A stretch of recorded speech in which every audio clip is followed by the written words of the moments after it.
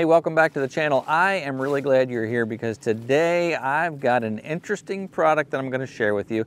Now, this is a product placement video. You know, I get offers all the time, emails every day from companies asking me to review their products, and I just delete 99.9, maybe even more than that.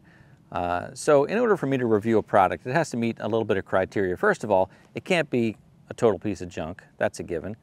Secondly, it has to be something that I'm going to use here on the property. And third, it has to be something that I think you'll be interested in seeing and maybe you yourself would need that. So again, very few products uh, meet that criteria, at least the ones that are emailed to me.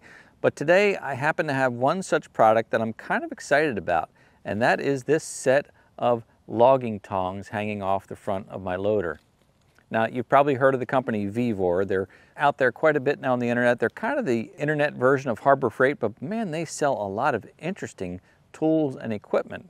And from what I've seen, the quality uh, really surpasses the price point. So I figured it was worth a shot. So these logging tongs, now I never thought about getting a pair until I had Brian here the other day with his backhoe and front end loader, and he was moving those giant oak logs from the property he had a set of these logging tongs and we tried to hook it to the to the log but it just wouldn't open big enough for it so we weren't able to use it.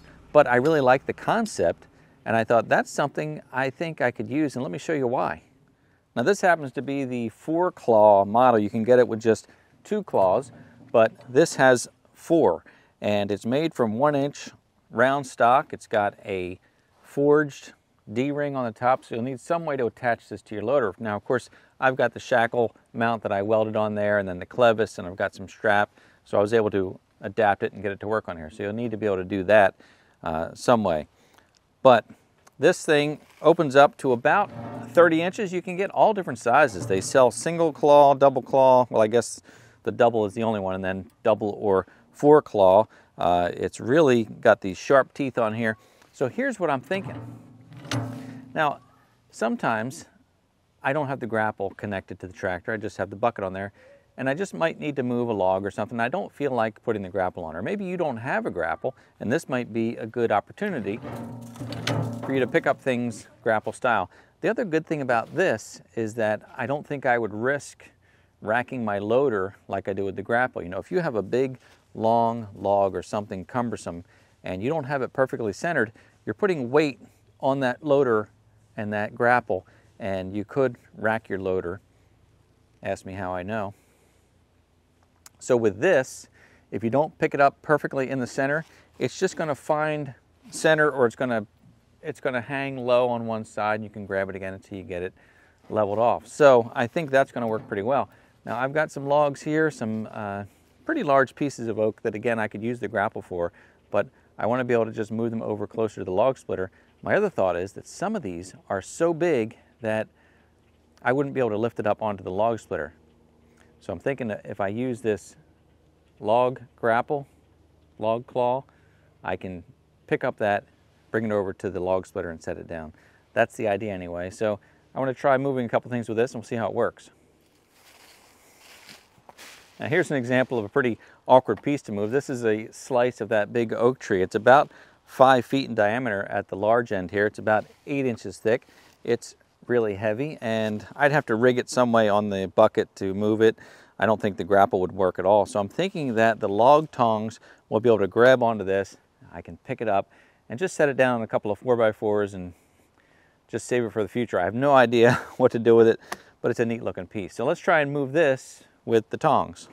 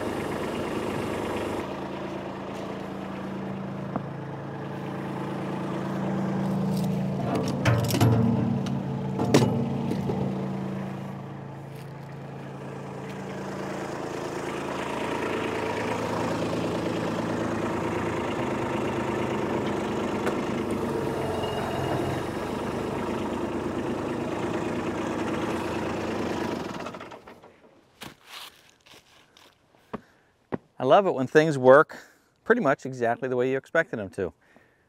Now let's move along.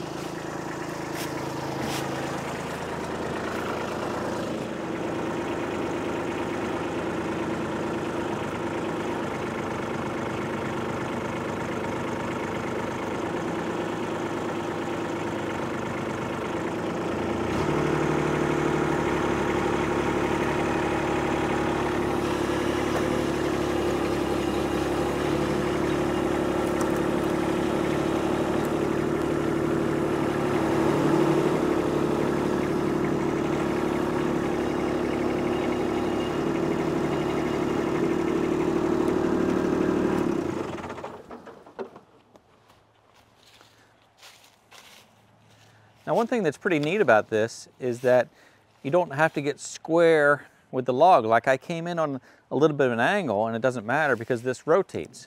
So that's a pretty handy feature to have. Um, and it can also allow you to spin things around. Now I've got this kind of pressed up against the bucket right now, but if I tilted the bucket down, I'd be able to spin it completely around. In fact, let me tilt the bucket forward and we'll try that.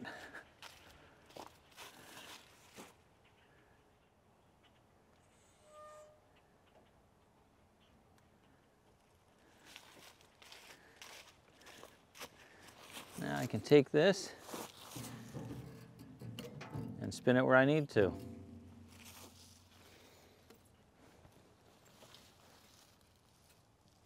The other thing is I think I can mark this for cutting firewood. I can lift it up and I can cut my 16 inches off this end and that end and kind of work my way in. And that'll again kind of balance itself or I'll be able to work within the, uh, the way it's balanced. I like that. And the, the way this works is the heavier something is, the more those claws dig into it. So it really would be difficult for that to even fall off. Now one issue I have using this, and it's nothing to do with the tongs themselves, it's that I have it hooked to the top of my loader here. So I don't have the height that I might want to get it up onto the log splitter or possibly a sawmill. Um, the other thing is that by being on the front of the bucket here, it really limits my lift capacity because I'm lifting from way out here. So if I were to actually combine this with, say, my uh, pallet fork frame, and if I were to hook this close up to the frame, I'd have more lift capacity and higher lift capacity. So I'll have to make some modifications and figure out what works best. But other than that, I love the idea of using this thing. Let's take a closer look here. Now the tong material is one inch steel. Looks like it's tied together with some 5 8 bar. Then you have the hinge system, which looks like quarter inch steel. And then up here is the forged D-ring, which appears to be about three quarters of an inch. This is the rotation point here, so it allows this to rotate 360 degrees. I think the capacity of this unit is about a ton. Uh, so having a compact tractor uh, the strength of this unit far surpasses the lift capacity that I have, so I'll never overwork this thing. It'll be just great for my needs. The other thing that I think this would be really handy for, and it's actually made for this, but that would be for grabbing onto logs if you're dragging them out of the forest or just moving them around. In uh, one of my recent videos, you saw me wrap a chain around the log and I dragged it out of the forest, where with this, I don't have to worry about getting under it to wrap the chain around it. You can just hook it to the end, once you start pulling on it, it's going to pull tight and it's not going to let go. So I think for dragging logs, it would also be really handy. But again, I think that's what it's made for. Now, of course, this is not going to be as handy as a grapple where you have controls uh, where you can open and close it from the station of the tractor. But if you don't have a grapple, or again, if you are in a situation where you don't want to put your grapple on or you have another need for it, I think these are pretty darn handy. So something to consider for a pretty inexpensive price that's going to allow you to do more things with your tractor. So that's going to do it for me today. Check out the link in the description if you want to learn more about VEVOR and learn more about this product. I appreciate you watching. If you enjoyed the content, please give it a like, give it a thumbs up. And uh, if you haven't yet subscribed to the channel, I invite you to join us. Thanks for watching, and I look forward to seeing you next time. At that, hands-free.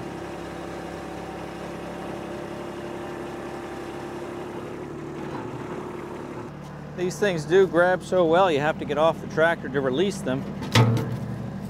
Then you just set it aside and back away.